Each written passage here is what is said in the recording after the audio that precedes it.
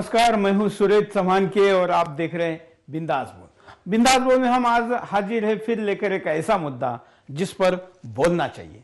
क्योंकि पिछले कुछ दिनों से एक ऐसी खबर आई है, जिस खबर के बारे में अखबारों में तो कहीं पर थोड़ी जगह मिली, वो भी कुछ अखबारों में। लेकिन ये खबर बहुत महत्वपूर्ण है। देश के सामने बड़ी बड़ी समस्याएँ, महत्वपूर्ण मुद्दों पर पार्लियामेंट बंद होने के साथ साथ देश में अराजकता का माहौल जैसी स्थिति है, इसलिए शायद इस मुद्दे को किसी ने ज़्यादा गंभीरता से नहीं लिया। लेकिन देश के खिलाफ, देश के संविधान के खिलाफ और देश के संप्रभुता के खिलाफ कहीं पर अगर कोई मुद्दा आता है तो छोटा बड़ा नहीं होता, विरोध विरोध होता है। और इसलिए ऐसे मुद्दे को छोड़ना नहीं चाहिए, क्योंकि छोटी सी बात ही आगे जाकर बड़ी बात बनती है। इसलिए एक हम एक ऐसे मुद्दे को आपके सामने लेकर आए हैं, ये खबर शायद अभी तुरंत में आपको याद नहीं होगी आपकी आँखों से गुजरी होगी, आपने गंभीरता से नहीं देखा होगा, या मीडिया ने आपके सामने गंभीरता रूप इसको प्रस्तुत नहीं किया होगा। लेकिन हम आपके सामने गंभीरता पूर्वक इस मुद्दे को लेकर आ रहे हैं और आपसे भी गंभीरता पूर्वक बेकॉफ होकर अपनी राय को इसके बारे में व्यक्त करने के लिए कह रहे हैं। जी हाँ मुद्दा है, तमिलनाडु में हिंदी का विरोध। वैसे तो दक्षिण भारत में हिंदी को पहले बहुत ज़्यादा विरोध होता था। तमिलनाडु की तो राजनीति भी इसके ऊपर चलती थी।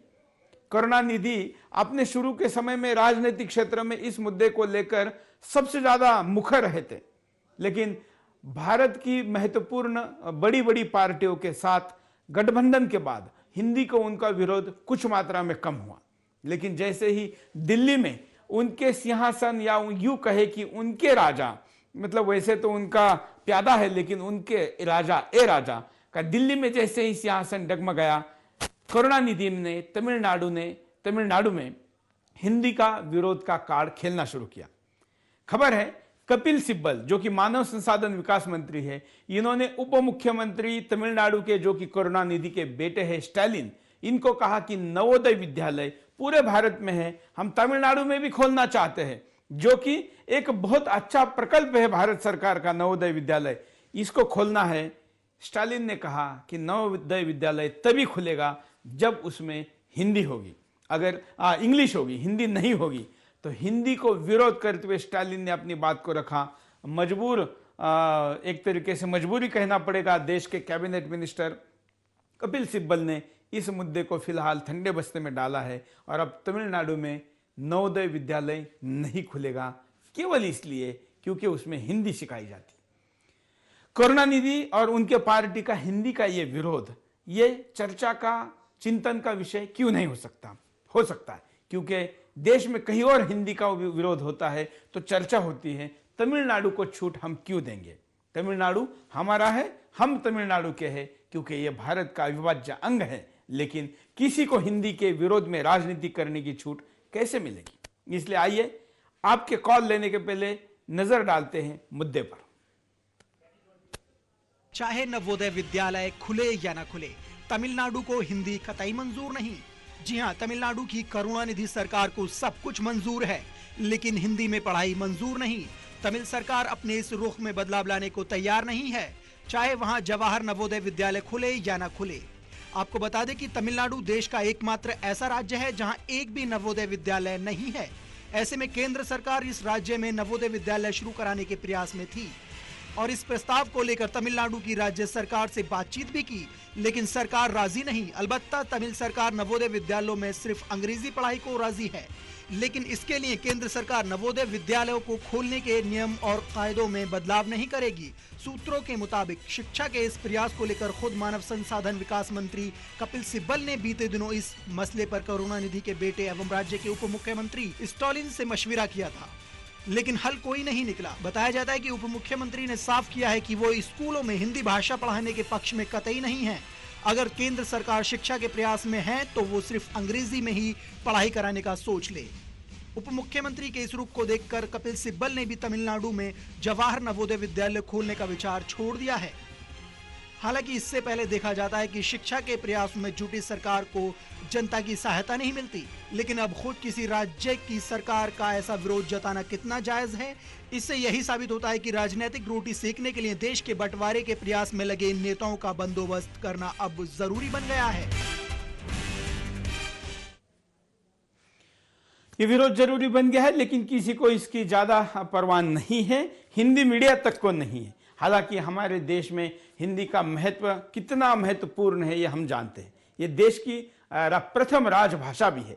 इस भाषा ने देश को एकता बनाने में बहुत बड़ा काम किया है।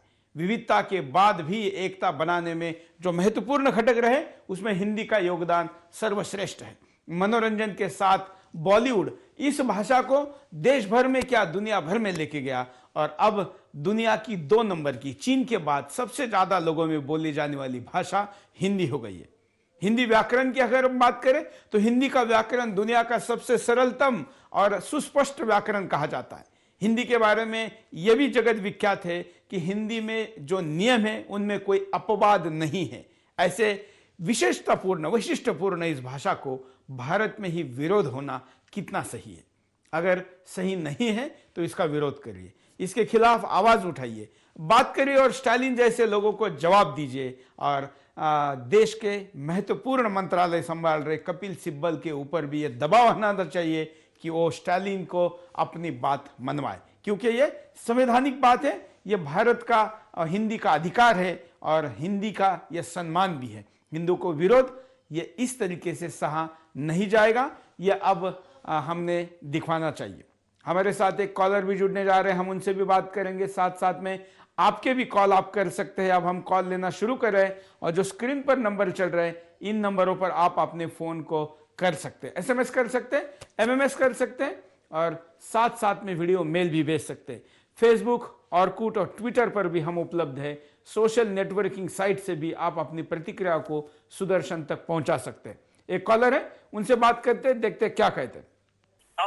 हिंदी का विरोध करने वाले और इंग्लिश को वापरने वाले ये अमरीकी ये ऐसा लगता है कि बुरे लोग हैं। हम्म। तमिलनाडु हिंदुस्तान का एक अंग है। हम्म। और हिंदुस्तान में हिंदी का विरोध करने वाले ये देशद्रोही माने जाएँगे। बिल्कुल। कोई बोलता है मराठी होना चाहिए हम मराठी का महाराष्ट्र में बोलते हैं मराठी है तमिलनाडु बोलते हैं कि हम इंग्लिश होना चाहिए। हिंदुस्तान तो हिंदी है तो हिंदी का वहाँ पर कॉलेज खुलना चाहिए। मैं कपिल सिंबल और केंद्र गवर्नमेंट को ये अपील करता हूँ कि तमिलनाडु में जवाहरलाल विद्यालय खुलना चाहिए, सर। मेरा नाम साबिर हुसैन, मैं जिला से बोल रहा हूँ। धन्यवाद साबिर भाई। बहुत अच्छा। देश में विभिन्न भाषाएँ अपने अपनी जगह पर सही है। यह हमारी विशेषता भी है। हमारे लिए, इसीलिए हम कहा जाता, हमारे यहाँ कहा जाता है कि विविधता के बाद हमारे यहाँ पर एकता है। लेकिन इस विविधता में अगर कोई छेद देने का प्रयास कर रहा है तो गलत है। आप अपनी भाषा का सम्मान करिए। वो तो कानूनी आपका अधिकार है। लेकिन कोई कानून आपको यह अधिकार नहीं देता कि आप हिंदी का अपमान करें। एक और कॉलर उनसे बात करते हैं। नमस्ते जी। नमस्ते। आ, सबसे पहले तो मैं आपको बहुत बधाई दूँगा कि आप एक आपने एक ऐसा विषय उठाया है जो राष्ट्र के साथ सीधा सीधा जुड़ा हुआ है और राष्ट्र की अस्मिता संप्रभुता के साथ खिलवाड़ करने वालों को एक जवाब देने का आपने प्रयास किया है। बिल्कुल। कल कल के समाचार पत्रों में मैंने जब ये पढ़ा हम्म। कि तमिलनाडु में हिंदी भाषा के विद्यालय खोलने के लिए वहाँ के उप मुख्यमंत्री ने केंद्रीय मंत्री को बिल्कुल साफ़ टका सा जवाब दिया है तो एक बहुत धक्का सा लगा कि जिस भाषा को हमें मातृभाषा तो कहते ही है हम्म। राष्ट्रीय भाषा का भी दर्जा जिसको दिया गया है उस मान सम्मान के साथ हम उसको प्रयोग में लाते हैं उसी भाषा का विरोध उसी राष्ट्र के एक प्रांत के उप मुख्यमंत्री जिस प्रकार कर रहे हैं ये उनके लिए घोर निंदनीय है और इसके ऊपर कठोर कार्रवाई भी की जानी चाहिए। ऐसे उप मुख्यमंत्री को पद पर रहने का कोई नैतिक अधिकार नहीं है जो अपने राष्ट्रीय भाषा के विरोध करता हो। बिल्कुल। क्यों ऐसा होता है आप क्या मानते हैं? राजनीति का हिस्सा है कि कुछ मुद्दे राजनीति चलाने के लिए उठाए जाते हैं।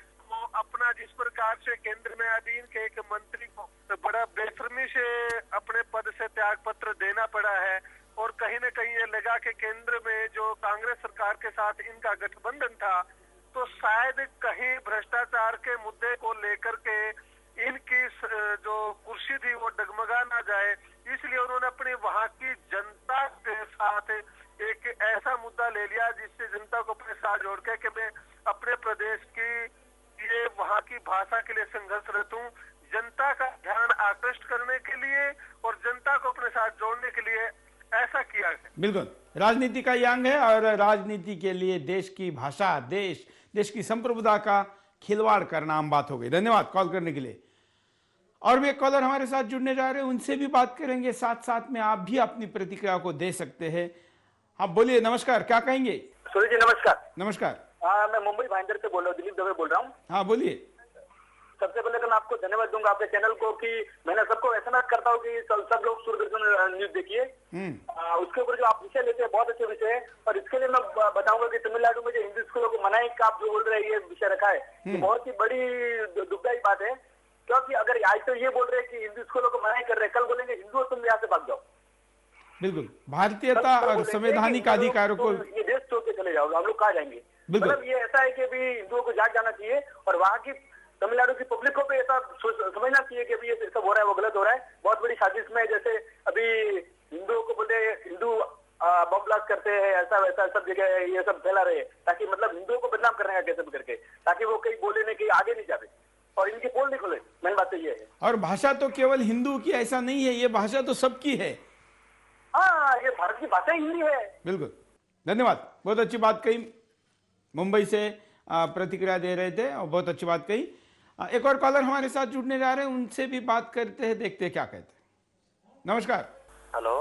हाँ आप लाइन में जुड़े हैं बोलिए क्या कहेंगे? हाँ मैं भूपेंद्र सिंह बोल रहा हूँ मुंबई से। हाँ बोलिए भूपेंद्र जी क्या है? सबसे सबसे पहले आपको धन्यवाद देता हूँ कि आपने एक बहुत ही अच्छा मुद्दा उठाया है।